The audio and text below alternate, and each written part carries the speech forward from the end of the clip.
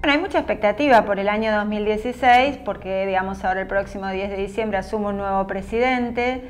Eh, hay cierta, digamos, cierto consenso en que en el 2016 habría una normalización financiera de la Argentina, digamos que se podría avanzar en la resolución del tema con los holdouts.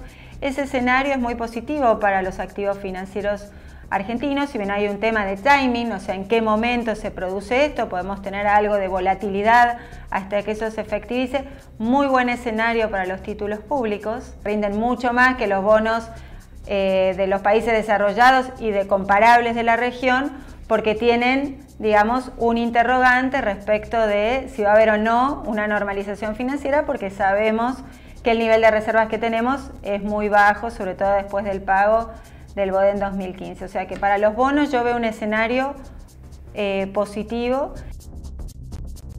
En el caso de las acciones va a depender mucho ahí sí el timing. Me parece que si Argentina normaliza, también vas a tener un muy buen año para las acciones.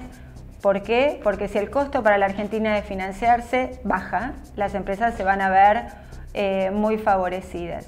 Entonces creo que va a ser un año que puede comenzar siendo volátil, pero que si se comprueba, digamos, si se, da este escenario de acercamiento nuevamente a los mercados, vas a tener que en punta a punta debiera ser un año positivo.